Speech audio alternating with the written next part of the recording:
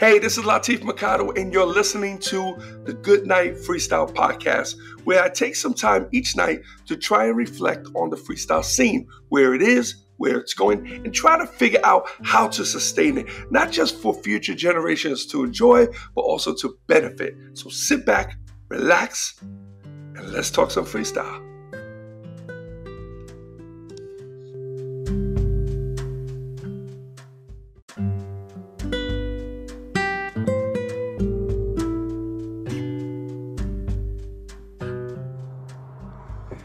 Hey, what's up, everyone? It's Latif, and welcome to the Good Night Freestyle Podcast. And this is episode 86. Um, hey, uh, first of all, I want to apologize for last night. So, again, like I mentioned, I'm trying to be able to do these podcasts under any circumstances. That way, I can keep them consistent. I, I really want to. Um, I'm not. I don't have a goal. I'm not trying to get 100 or 200. 100, I'll celebrate. Um, 365 when we do the whole year. I'll probably celebrate again.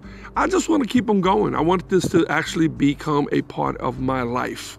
I think it's very important that I document some of this stuff. I know some of the stuff right now um, is just very monotonous. It, it, might not be, might be actually kind of boring. I, am not sure. I don't know.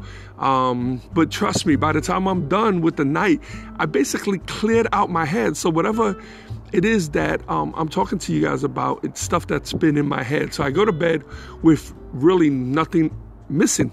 So it's a wonderful thing for me personally, and I'm hoping that somehow, some way, it there's something in it for you guys. And maybe as I continue on, maybe as I continue, I'll find that, I'll figure that out, and then maybe I can focus on that a little bit more.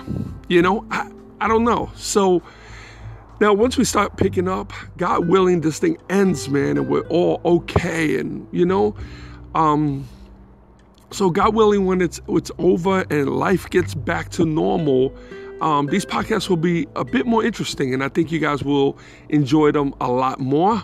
Um, I think they'll be informative, they'll be educational, they might be entertaining.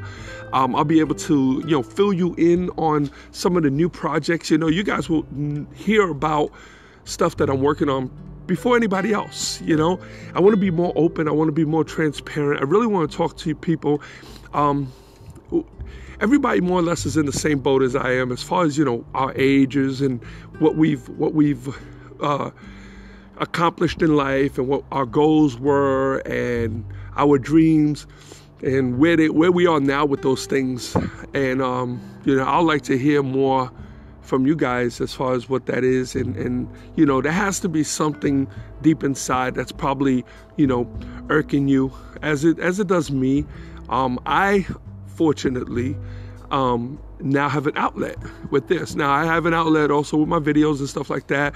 That's my creative and my writing my books my that creative expression uh, that i just love love love. I mean oh my god. Um, and uh, you know, and then with the podcast, it kind of takes me on a, a, there's a different track. It's almost like a, you know, like I'm running all these different trains. I have the videos, the the, the entertaining ones. We have the vlogs that I have to kick back in, uh, get those going again. Um, the podcasts, um, my writing. These are all different trains. These are all different tracks. These are all different ways that I'm able to express myself and by expressing myself, I'm hoping that there's something in it that you can find because sometimes people cannot express themselves. They don't know how. They hold it in. I know. I I, I forced myself into this. I really did. I I mean, this was something that I you could never have told me that I would do anything like this. You could never have told me that I would do videos or do vlogs. You could never have told me this back in the days, you know? Listen, I'm gonna tell you how, how crazy this was. All right. Now, in the 90s, when all we had was message boards, that's all we had. Um, a lot of people, I had my own message board. I had it on the Styling Free site, any of you guys who are long time friend and fans of, of mine and my work, um, remember this. Um, a lot of people would post their pictures of them and their family or on there. They called it an avatar back then. Now it's a profile picture. But the avatar would be a photo of them. I wouldn't do that. I would always do like the La logo. Um, and uh, I would never put a photo of myself. I would put maybe the best that I would do would be the cartoon. I have a cartoon version of it.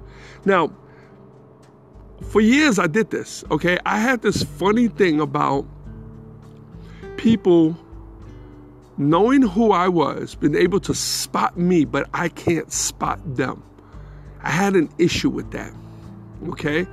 Um, I don't know if I still do. Never really thought about it until like right now. Okay, and, and check this out. All right, so I remember Angel. Now, you know, I, no matter where I walk with my wife, people know who she is. Okay, not much here in, in North Carolina like it used to be. Um, well, now there is because we've run into people we know. But like when we were in New York, I mean, pretty much there's really not too many places she would go to and people would spot her. And even if they didn't say anything, they would stare. So, and usually at that point, I, I knew at that point that they knew who she was. So, and then if they came up um, and they talked to her, a lot of times uh, they just want to say hi. They want to make sure it's her, you know? And um, that was really, that was a proud moment for me too. Um, I, I, spent a lot of time with her like that and with Ernest, who, you know, by the way, today is his birthday, Ernest Thomas Raj from What's Happening. Um, he was another celebrity that I spent a lot of time with, and he's even more recognizable than Angel. Like, no matter where we went, um, people spotted him and they recognized him. And he was always very gracious and he would stop and just talk to people to the point that him and I had to create uh, um, a, like a little signal. And the signal was he would scratch his ear like rub the, the, lobe of his ear. And that meant for me to step in and say hey man it's time to go. And it, it wasn't to be rude um, because he would he would talk to these people and it didn't matter who they were. And he would get into it but after a while, he would catch himself and he knew we had someplace to go, like we had a meeting or we had, and we had to get out. He didn't want to be the one, listen, I got to go, I'm sorry. He would need me to do that. So he would scratch his lobe, and that was the signal, like to say, okay, he, he's ready, he's ready to go. It's funny because I haven't thought about this in a while, um, and it, it, was just it was just cool. He was always gracious like that, you know. But um, uh, Hey, oh, you, you know, let me cut off. Let me cut off for a second. I need, I need to throw this in. Okay, there was one time that I was in the city with him, right? And we were walking down 8th Avenue, we're like in the 50s, like 53rd Street or something. And there was a homeless couple laying on cardboard by, you know, by the, one of the buildings. And as we were walking, okay, he was talking to me, and his people used to turn because they recognized his voice. That's what's so crazy. Like people didn't know who he was when they heard his voice, but they recognized it. And they would turn and then it would all it would all come together. And I remember walking and there was um this homeless man that was laying on the floor on the ground with his wife. Okay, I remember it was a summer day and and we're walking down and was pretty much nobody else on that block. I forgot what street we were on, but like that area, like 8th Avenue or whatever. And he hears us talking, he hears Ernest, and he sits up on his cardboard. And I could see, I knew right away, I, I was so used to it that he recognized him. And when he recognized it, he wakes his wife up, honey, honey, wake up, wake up, look, look. And she wakes up and she looks and her eyes open up. And he goes, Raj. And Ernest stops. And we stop. And I, I never had an issue stopping with him because I understood his mentality. I understood things about him because we spent so much time together and how gracious and how appreciative he was of everything that he had. That he um people were very important to him. He loved he loved people. He still does. He loves people. Okay? And he spoke to this couple as if they were you know, another uh, uh another celebrity couple, you know, walking down, you know, Madison Avenue or something. You know what I'm saying? He like there was there were, there was never any kind of distinct distinct what, what you call it distinction for him between a couple who was homeless and a couple who were well off. He treated them exactly the same. And I personally learned a lot from that. Okay? Um, I was young. I was in my 20s, so I can understand that. I would probably, yeah, yeah, okay, all right, cool. Nice to meet you. Bye bye. You know, yeah, no, no, don't don't touch my hand. Let, I'll, I'll tell you, God bless you. I'll pray for you. Here, here's a couple dollars. Not Ernest, man. Uh-uh. And he would stand there or he would squat down and he would just talk to these people. And he would ask them about themselves. And you would learn that these people, and it's, I know it sounds strange coming from me now, but you gotta realize my mentality back then. These were people that had regular lives. They had normal, everyday lives just like everyone else. And I remember after we were gone, we had to leave. You had to do pull the tongue on the ear because we had to go. We really did. And when we were walking, I was silent for a while. And he asked me, he goes, You okay?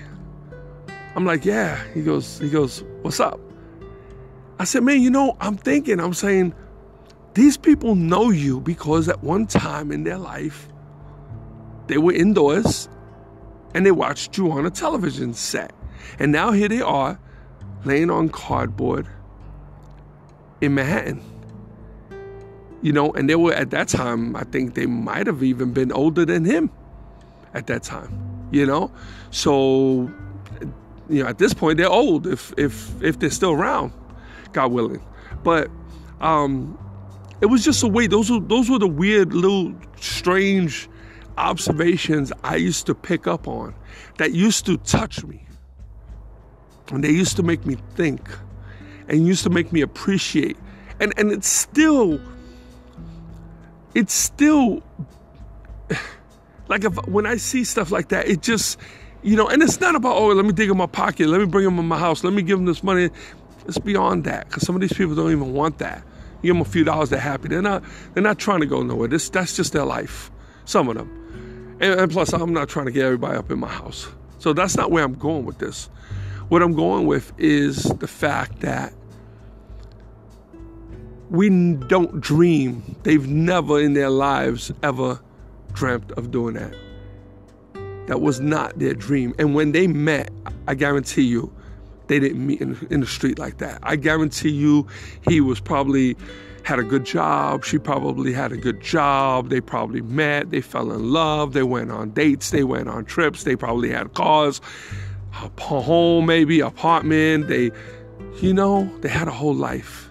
And now, what can possibly affect you that severe that not just you, but both you and your wife end up like that. Like what what could have you know, what could have happened, you know, with that. So, but anyway, uh, back to what I was talking about. I was talking about, you know, being recognized. And that's how I got there. Sorry, guys. you know how I do. you should be used to me by now. Um, but I remember when it started, you know, Angel used to tell me, oh, you need people need to see who, what you look like. You know, it's cool that people know who what you look like because everybody know me. Everybody knew my name. I have a very unique name, so everybody knew my name in the freestyle. Fans, artists, producers, promoters, they all knew my name. Okay. But they had no idea what the hell I looked like. So when I would meet an artist or I would meet someone and I say, hey, what's up? Hey, well, how you doing? Hey, Latif. Oh shit, you're Latif. Oh, yo, what up, man? Yo. And and that's how it would be. And Angel got to a point, she noticed that. And she told me, You got to use your picture. People need to know what you look like because you're meeting these people. And then it still didn't dawn on me. I don't know if it was part pride or part being just an ass or being stubborn or just trying to be cute. I don't know. But I remember this ha- started happening a lot. But I remember one time in particular, we did a show somewhere. I forgot where. Might have been I, I'm gonna say Chicago because I remember it was like a theater. And the only place we really did theaters, like beautiful theaters, was like Chicago, or we would do like Connecticut, um, like places like that, New York. But I, I, I, I think it was uh, Chicago. I remember we did the show, right? And then we came out through the side door and we had to go up these steps. Now, the in where the steps were were in the lobby of the theater. So the lobby theater, the, the lobby was packed with with you know fans, you know people that were, I think they were. I forgot we were leaving or we were just getting there. So we have to come out and we have to go upstairs. and I heard somebody, and this this happened several times, not that day, but this day, it it I it, it kind of messed with me a little bit because when I was going up the stairs, I heard someone clearly say, "Is that him?" That I didn't it didn't dawn because I didn't think they were talking about me. As a matter of fact, it didn't even register until I finally heard them call my name. Someone said, Latif. And when I turned around, I stopped in the steps and nobody said anything. Nobody said anything. So I turned back around and I went upstairs. Now, the only reason why the first part of it registered where I said where they said, um, is that him? You know, I don't know. You know, is that him? You know, something like that is only because they called my name. And when they did that, it kept messing with me. And I remember I had to come back down. And I was kind of hoping whoever it was that called me would come up to me because it messed with me. I know it's stupid, but it messed with me. And, um, you know, think about it. I'm up on the steps, I'm coming down, I see 300 people in just a lobby, maybe more. And because the, the, the theater, I think, was like, I don't know, theater might hold like 800 people. So there was a lot of people in the theater, there was still people in the lobby area. So it had to be about 300 people. So you're talking about all these people and this is freestyle. These are freestyle fans. So even though one called my name, I'm sure a lot of them knew who I was, and it bothered me. And I remember Angel making a comment again. She goes, "You see?" She goes, "You know, people don't know it's you." She goes, "You should, you know, you need to put your pitch out there more often."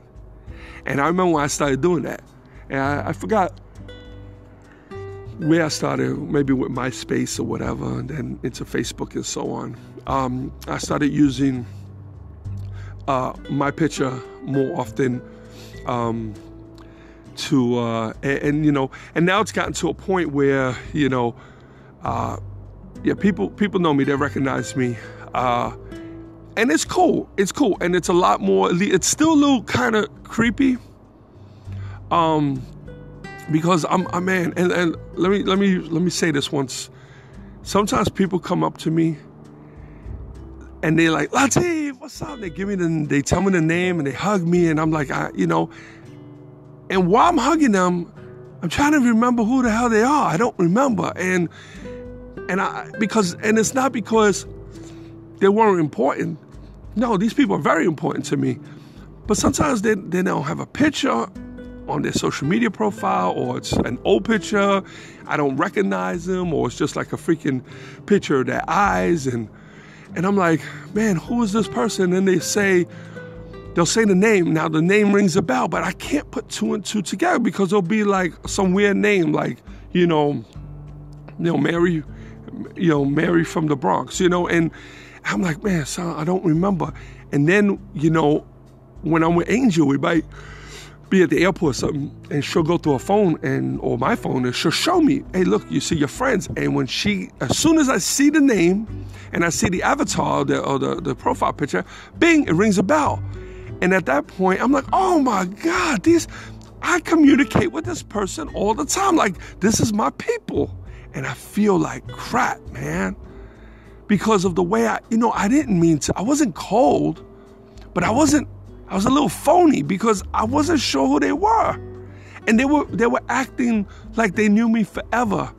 And that made it even worse for me. If they were just like, you know, hey, hey lad, what's up, man? Nice to meet you, Bob. Or, you know, hey, what's up? You know, or tell me something, but they swear that I'm going to, and it's not that I don't remember them because they're not important, it's that I don't see your picture. I don't know what you look like, you know? So it, kind of throws me off. And uh, so, anybody who I've done that to, please forgive me. Um, a lot of times when that happens, though, um, usually at that point, I usually would never forget them again. I'll always remember who they are from that point. The only other way is if if there was something that they did or something that they said or something that you know something that will always remind me of them. You know, like you know, we had a. a a girl who gave Angel a cowboy hat one time. I always remember her for that. You know, um, I have people who have, you know, taken pictures or taken pictures with us, or with me in particular. Remember, Angel's, are, you know, she's a celebrity. She takes billions of pictures. Me, I'm lucky if I get a few pictures. If people want to take my picture with me, hey, I feel freaking blessed. But I, I like when they take the picture and they post it So that way it clicks because I don't want to forget people. I don't, I appreciate people. I don't want to forget them, you know? So, but, um, yeah, I just wanted to talk about that a little bit. It was just um just stuff that's been on my uh, on my mind, you know. Um, but uh, I don't know where I was going with that, like always. but uh, it was interesting. I think the, the Ernest Thomas story is pretty interesting because I haven't thought about that story uh, in years. Yeah, and, and, again, today's his birthday. If if you guys, uh, a lot of you guys who are actually listening have already wished him happy birthday. I seen it on the post, on my post. So uh, he's good brother, real good brother. So, but anyway, guys, um, that's it for tonight. Um, I'm glad I didn't have to talk about the coronavirus tonight. I didn't want to. I really didn't want to. We all know what's going on. Maybe tomorrow I'll talk about it. You know, I'll talk about when I don't have something else to talk about. But if I could bring something else out, um, then I'd rather do that. You know, I'm standing outside just so you know. It's a cool night. I didn't bring Coco with me. Uh, freaking dog started barking yesterday, threw me off. so she's stuck in the house now. But uh, I'm out here. Uh, it's a nice night little cooler than usual, but hey, still perfect for me. I can sleep out here. So. But anyway, guys, uh, once again, hey, thanks for liking all the TikToks, man. I really appreciate that. Um, if you guys have not picked up a copy of Freestyle for Life, the Kindle version, please pick it up between today and tomorrow because it's tomorrow's the last day. It comes off the, the free market. Um, and I don't know when I could do that again. So please try to grab a copy. It's free. There's no strings attached. I'm not asking you to uh, promote it or give me a review or anything. Just go get the book, have it, read it. Um, if you have an Android or if you have an iPhone, just go into the the Apple Store go to the Apple Store, go into um, uh, Play Store, and uh, download the free Kindle app. So that way you can read the books, man. And, and, not only those books, you can read all kinds of books. They also have newspapers. They have um, a lot of free books. They have poems. I mean, Amazon is incredible, man. You know, uh, they put all the libraries and, and, well, most of the libraries out of business, and uh, the bookstores are done because of Amazon. Hey, I'm all for technology, man. Capitalism. Anyway, all right, people. I appreciate having have a, a, nice night, man. Please stay safe, stay in the house. All right. Um, keep you know, watch some kids, wash their hands. Let's pray that none of us catch this, man. It's scary. I'm terrified. I'm looking on Facebook, seeing all these people getting sick and dying, and I'm terrified, man. I'm terrified. I'm terrified for my kids, for your kids, for your friends and family. Man, this just needs to stop like now you know? So, all right, people, have a good night. God bless. And until tomorrow, good night, freestyle.